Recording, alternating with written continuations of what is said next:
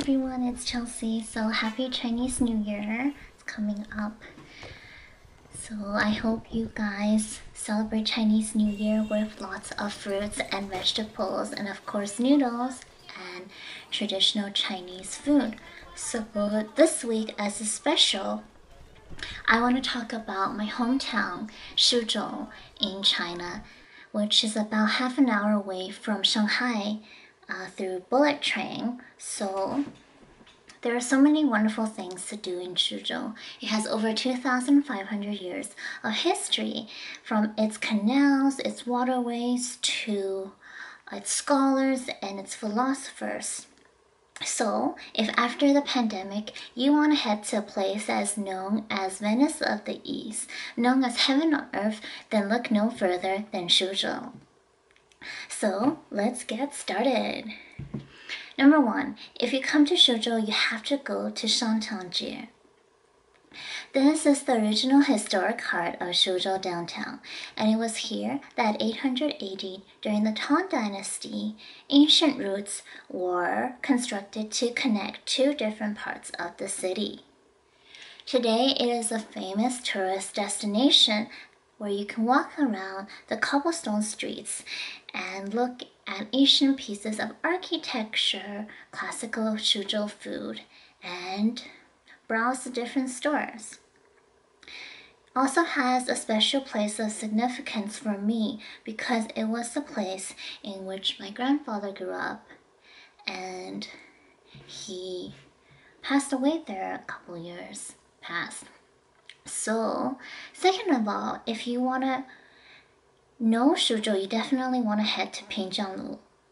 And this is where the old heart of downtown Suzhou it was. And here you can browse along the old cobblestone streets, the canals, spanning an area from the apartment buildings all the way to the canals and the different um, architecture. It's a long stretch of road and regions that also host a lot of bus stops, a lot of transportation hubs, and also a lot of small cafes and stores. And built during the Song Dynasty, also has lots of years of history to testify to being a strong symbol of Suzhou today. Now, if you enjoy gardens, there are so many gardens for you to enjoy in Suzhou. A lot of them UNESCO World Certified and dating back to the 6th century BC. So one of the most famous classical gardens in Suzhou is the Humble Administrator's Garden. And it is here located in the heart of Suzhou where you'll see ancient styles of architecture and how the ancient Chinese lived and how the rulers and their dynasties evolved with different dynasties. So if you're looking for the modern heart of Suzhou, definitely head over to Suzhou Industrial District. This district was built in the 1990s between a joint venture between Suzhou and Singapore to develop an area of high economic growth.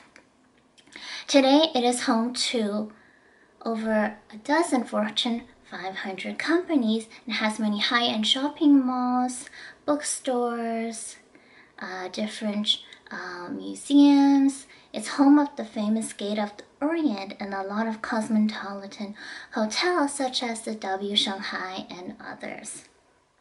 Located on the banks of Jinjihu River, this is the idyllic setting for your next vacation. So some of my insider tips for you in Suzhou outside of the city region. And that includes the incredible Guangfu and Qionglongshan. It was here at Qionglongshan that the famous philosopher Sun Tzu wrote The Art of War. Sure, a lot of you have heard of it, where he talks about different quotes about how to attack your military opponents, his philosophies on life, and so much more. Guangfu is home for the famous Xiangxue Festival, known to be one of the four places in China to view the famous plum flowers when they bloom. So if you enjoy that in nature, be sure to check this out on your next trip. And finally, let's talk about Xishan. It's located on the outskirts of Suzhou. It's located along the idyllic Lake Tai, Taihu, and it's here on this island that you'll find rustic countryside living. You'll find a cemetery overlooking the lake where your ancestors and the glorified can rest assured that they live in peace. So there are so many wonderful things to do in Suzhou. But we haven't mentioned the best yet, and that is definitely Tongli, one of the most famous water towns in Suzhou.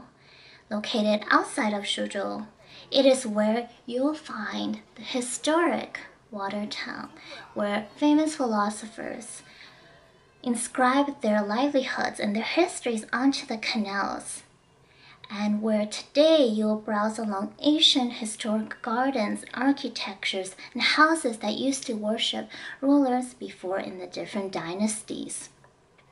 So if you enjoy gourmet Suzhou style food, you'll definitely enjoy the noodles found during the different alleyways and the cobblestone streets near the hutongs.